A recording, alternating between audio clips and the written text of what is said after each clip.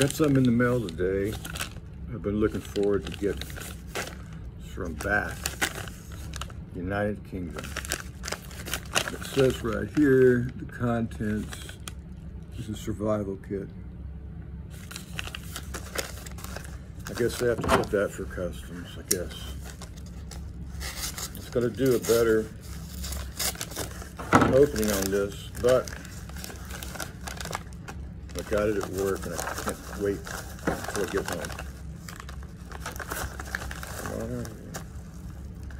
Oops, the box. Milbro. I've never had one of these before. Yes, the bands are crap, but I expected that to happen. So classic slingshot, designed to be shot upright. I don't really use that.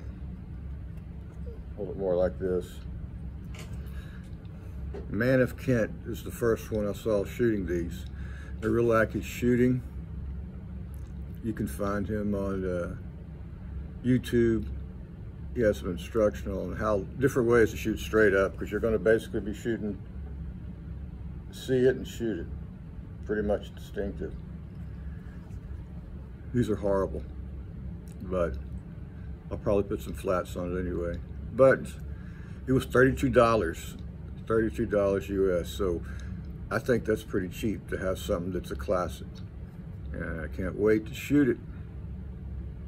Got to get you one. Thanks.